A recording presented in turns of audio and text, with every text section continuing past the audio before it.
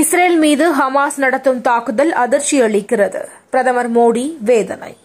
இஸ்ரேலில் சிக்கிய பதினைந்து தமிழர்கள் தொடர்பு கொண்டுள்ளனர். தமிழக அரசு தகவல்.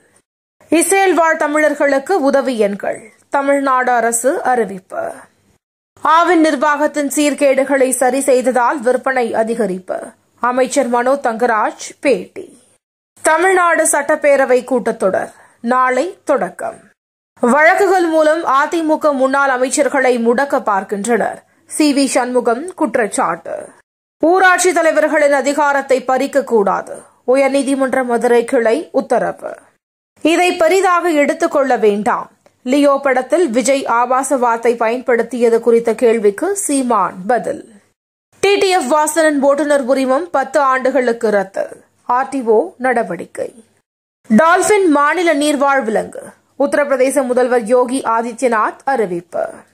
சிறுதானியங்கள் மீதான ஜிஎஸ்டி வரி குறைப்பு. மத்திய அமைச்சர் நிர்மலா சீதாராமன் அறிவிப்பு.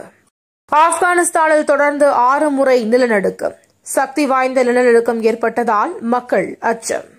ஆசிய போட்டிகள். முதன்முறையாக நூற்று ஏழு பதக்கங்களை குவித்து இந்தியா சாதனை. உலகக்கோப்பை கிரிக்கெட் போட்டி. சென்னையில் இன்று இந்தியா ஆஸ்திரேலிய அணிகள் மோதல். சென்னையில் இன்று மிதமான மழைக்கு வாய்ப்பு. வானிலை மையம் தகவல்.